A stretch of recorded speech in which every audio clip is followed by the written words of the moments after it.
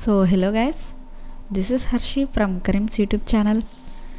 So in this video, I'm gonna explain you how to embed YouTube video in WordPress. Okay, so without getting any delay, let's jump into the topic. So firstly, log into your WordPress dashboard and click on new and go to post.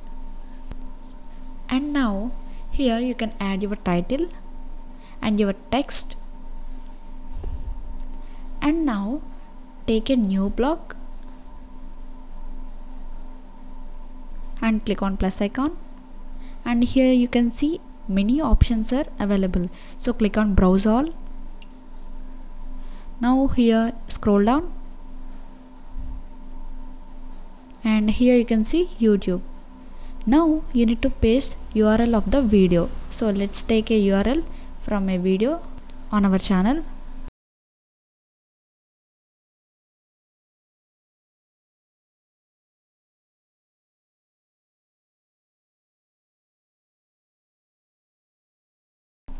Now let's paste here.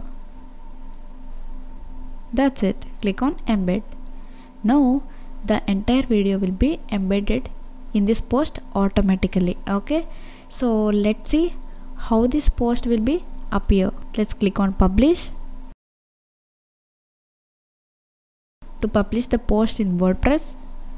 So the post is being uploading.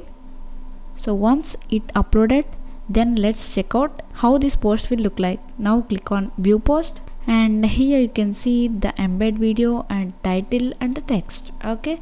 So this is how you can embed your youtube video in wordpress okay? So thank you for watching